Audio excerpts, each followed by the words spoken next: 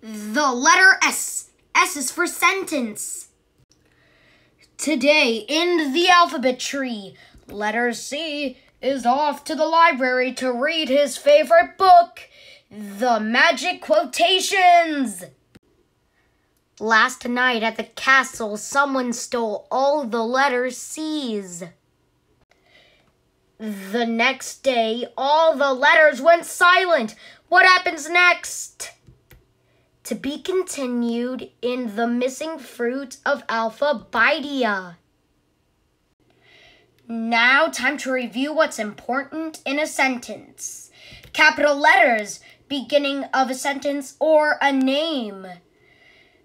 Now, italics, stressing a word, but not that much. Now C is off to find the sequel. Question mark, asking a question. Did he find it? S is for sentence, the letter S.